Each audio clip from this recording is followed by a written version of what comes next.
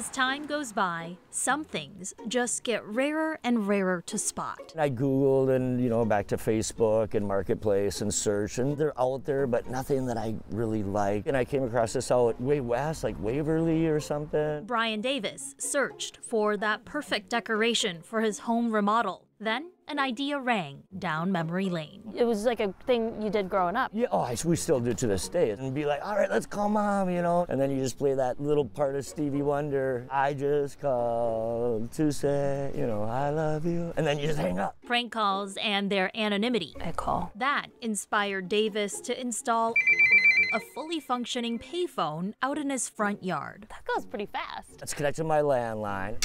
And at first, Davis had forgotten how to use a payphone. Oh, I'm like, oh my gosh, that's right. You have to add four quarters. I think in the day it was a quarter or something or a dime. Hi, Hello. Sharon.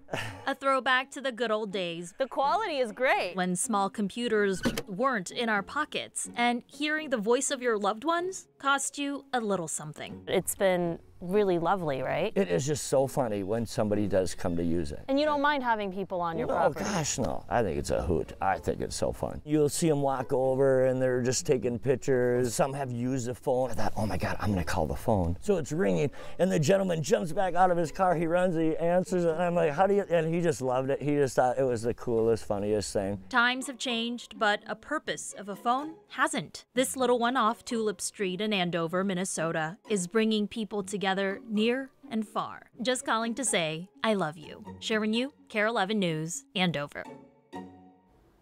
That's awesome. Well done, Brian. And Brian extends to all who are itching to make a payphone call.